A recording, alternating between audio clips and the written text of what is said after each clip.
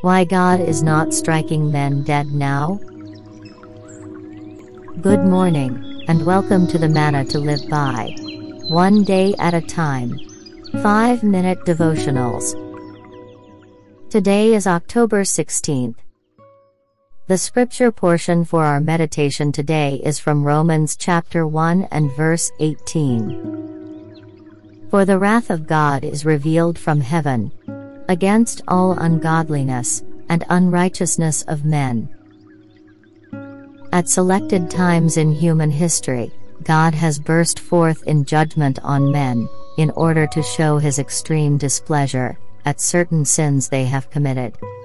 Obviously, he does not strike men dead every time these sins are committed. If he did, the population of the world would be drastically reduced. But, he has gone on record on isolated occasions to warn mankind that, such ungodliness and unrighteousness will not go unpunished. If he does not deal with it in time, he most surely will in eternity. When God looked down and saw that the earth was corrupt and filled with violence, he sent a cataclysmic flood, destroying the world. Genesis 6:13. Only 8 people escaped with their lives. Later, the cities of Sodom and Gomorrah became centers of homosexuality. Genesis chapter 19 and verses 1 to 13. Sodom was also guilty of pride, fullness of bread, and prosperous ease, Ezekiel 16:49. God revealed his wrath from heaven by raining fire and brimstone on these cities, consigning them to perpetual extinction. Nadab and Abihu had died before the Lord, when they offered profane fire. Numbers 3 to 4. They should have used fire from the altar, Leviticus 16:12 but they decided to approach God in some other way. By smiting them with instant death, the Lord warned future generations against attempts to approach him in any way, other than the way he has appointed. Nebuchadnezzar, king of Babylon, failed to acknowledge the Most High who rules in the affairs of men.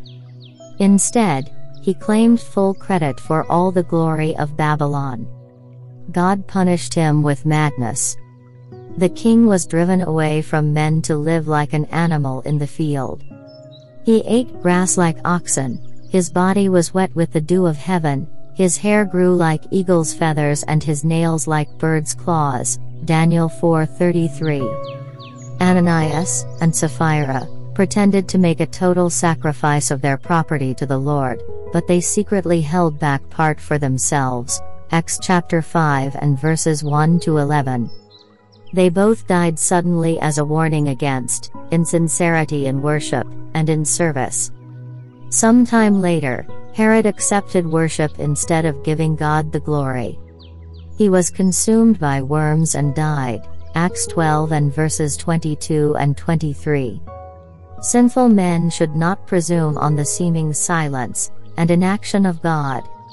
Just because he doesn't always punish sin instantly, doesn't mean that he won't punish it ultimately.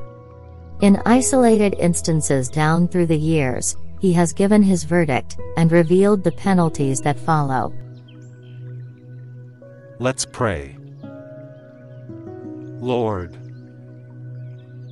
I pray for those who continue in their rebellious acts of unrighteousness and ungodliness around me.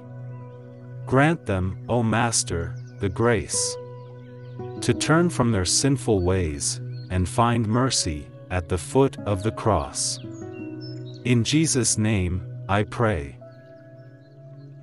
Amen. Why God is not striking men dead now? Today's Manna, originally written by William MacDonald. Adapted and developed as Manna to Live By 5 Minute Devotionals for YouTube? By John Benjamin. For previous day's manna, please click the channel link given in the description box below. Thank you, and to God be the glory.